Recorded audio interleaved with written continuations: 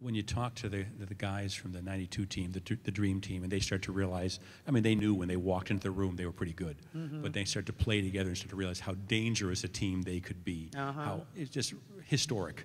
Did you start to have that feeling with Swoopes and Leslie and, and McCray and Bolton and you and Mm-hmm. all these, when you're all in that same room practicing and working together, Mm-hmm. when did it start to dawn on you we could really be special, historic, unique team?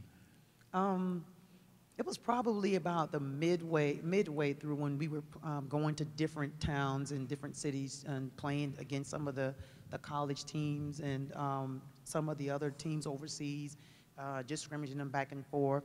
You could feel the level of respect that we had um, attained from uh, definitely by some of the countries. And then you start to feel like, oh, okay, so maybe you know, oh, we are we are pretty good. We are mm. pretty decent, you know.